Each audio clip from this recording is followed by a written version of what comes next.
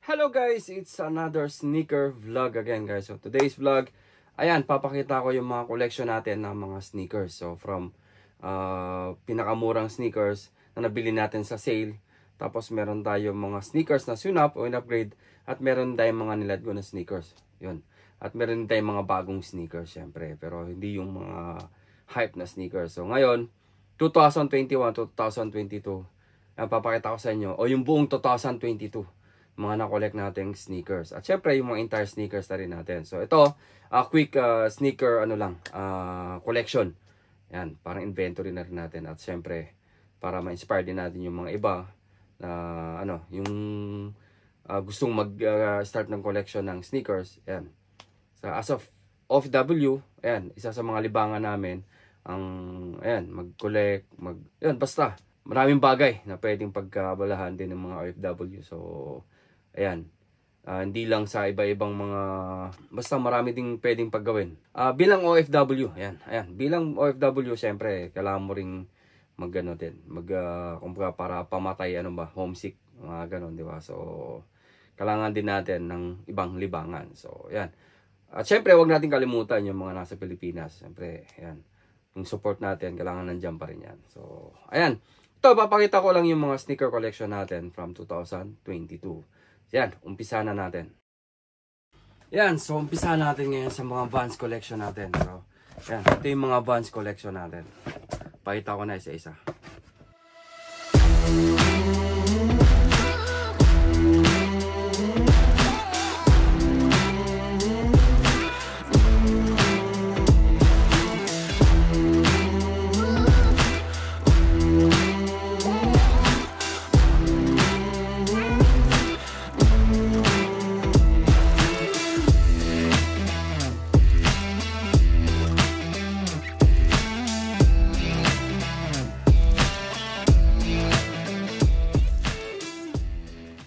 So meron din tayong mga collection from Adidas. So, papakita natin yung mga collection natin from Adidas.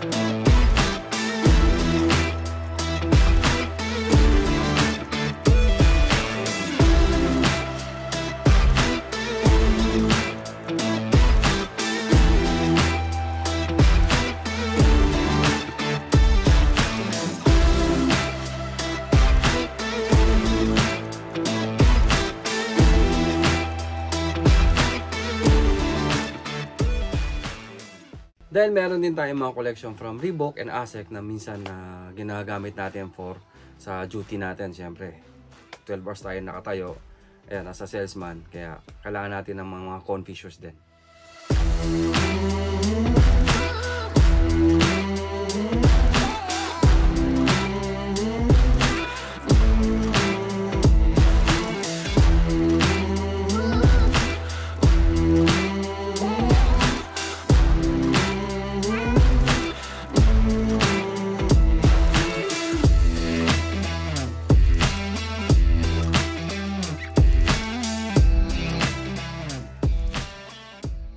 At meron din tayong mga Nike sneakers. So, yan. Papakita ko lahat ng mga na-collect natin from 2019 up to 2022 ng mga Nike sneakers.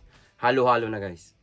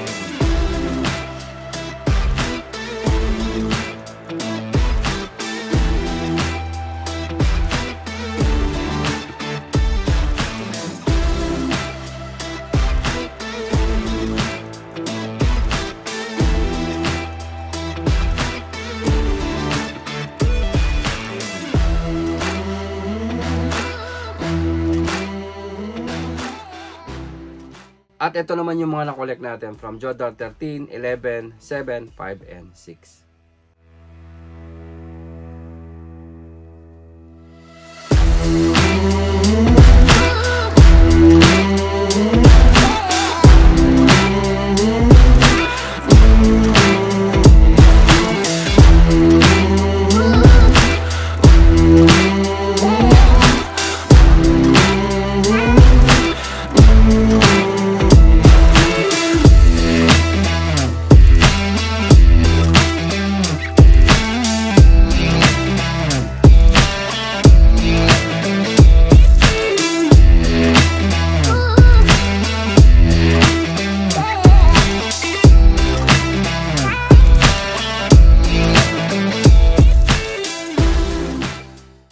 Isa sa mga favorite na silhouette natin from Jordan is yung Jordan 4. So, medyo marami na ang Jordan 4 natin. So, ipapakita ko lahat ng mga Jordan 4 na kung na-collect natin. So, ito mga Jordan 4 natin.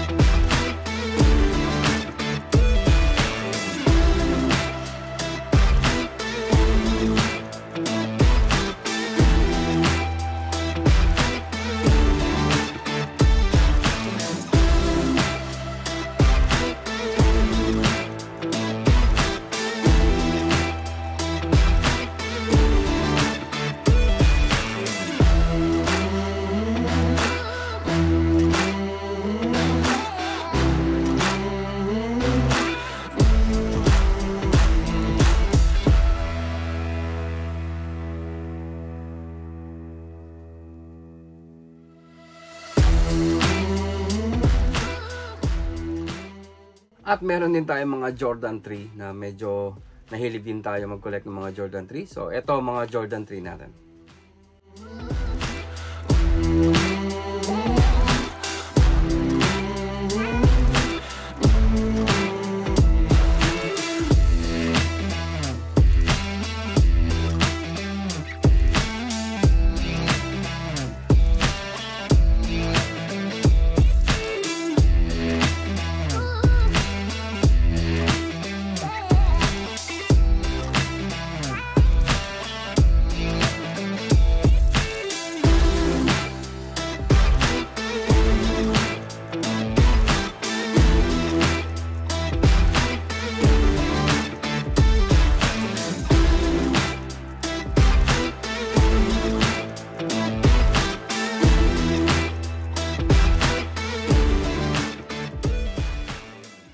Meron din tayo syempre sa mga Jordan 1s natin na low, mid, and high. So, ito yung mga na-collect natin ng mga Jordan 1 from low, mid, and high.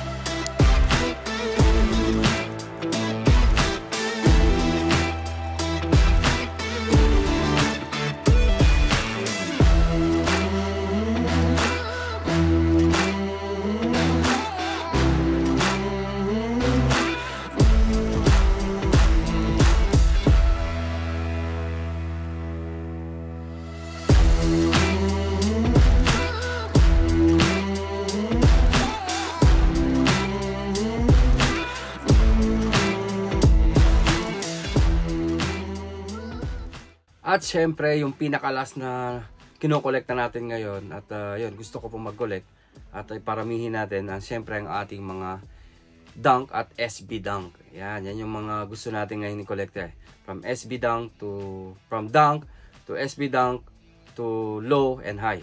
So, yan. Ito yung mga na-collect natin uh, na SB dunk at dunk from 2022.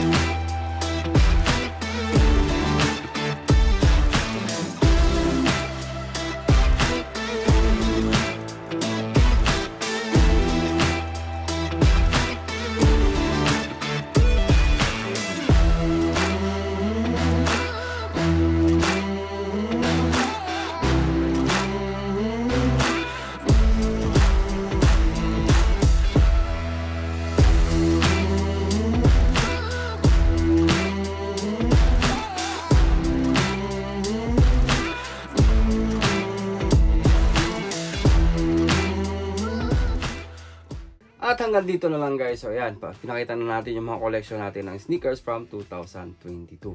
So I hope in 2023 madagdagan na, na naman yung mga sneaker collection natin. At syempre, meron din tayo mga ililet yung mga sneakers. So parang ano lang yun eh. Kung di mo naman nasusuot, kung patingin mo medyo parang ayaw mo suotin, di ba? Pwede mo naman i-let go. Tsaka yung iba, eh, may mga sneakers din tayong pinamigay. So yun, may sneakers tayo binigay kay Brian at kay Palaboy OFW. So, ayan, pang Christmas gift din natin nila sa kanila. So, ayan guys, uh, ayan, yan yung mga collection natin ng mga sneakers at uh, ayan, tingnan natin sa 2022, 2023. Sorry, kung ano naman mga mga-collect natin mga sneakers. So, ayan, ngayon medyo nagtutok ako sa mga ni, sa mga SB Dunk. Yan, yan yung mga gustong sneakers natin ngayon eh. So, meron din tayong mga nilat yung SB Dunk pero ayan, isa sa mga gusto nating makollect is yung mga SB Dunk na sneakers. At syempre, mga J4. J4, J3, yan. Yung mga, tsaka nag-start na ako ng mga J5, 6, 7. Parang ganun. So, yan. And hanggang dito na lang guys. Again, uh, flex time. First, I want to flex my team, which is Team Positive Vlogger. Shout out to all the admin members ng Team Positive. At syempre, ang ating PBK 2.0. At sila pala Boy FW, Brian Puntanar, Julius at si Audrey. So, ayan guys, hanggang dito na lang again. Uh, sa mga OFW, ayan, maraming gusto mag uh, mag-collect ng mga sneakers. So, ayan guys. So, kung saan kayo masaya, tuloy nyo lang, di ba? At least, wag natin kalimutan yung mga nasa Pilipinas. So, ayan, syempre, yung suporta natin sa Pilipinas. At dyan pa rin yan. So, hindi mawawala. Kailangan intact pa rin yung support natin sa kanila. Syempre. Siyempre, siyempre, wag natin kalimutan yung sarili natin. Kailangan natin ano, kailangan natin mag uh, kumbaga i-alawin yung mga sarili din natin, di ba? Sa para mawala tayo sa homesick, ma-divert yung mga ano natin. Pagiging yung pagkano ng homesick natin. So, yan. Uh, hanggang dito lang again. Uh, Happy New Year nga pala sa lahat. Baka ma-upload ko to New Year. So, bahala na. O mamaya, or bang 28. So, today is December 28. Ayan hanggang guys, hanggang dito na lang again. Thank you at maraming maraming salamat sa mga nagsusubscribe sa atin at sa mga nanonood sa atin dyan sa Pilipinas. Ayan, medyo mataas na yung views natin dyan sa Pilipinas eh. So, yun. Tsaka yung mga nagko-comment eh. Marami na tayong mga Philippine viewers. So, kaya ang gagawin ko ngayon, lahat ng sneakers na uh, i-review natin, o unboxing natin regarding sa sneakers, yan, Tagalog review tayo. So, mas maganda, di ba? Mas maigi. Kasi, alam natin, ang mga Pilipino, mahilig talaga sa sneakers. So, yan guys, hanggang dito na lang. Thank you at mabuhay.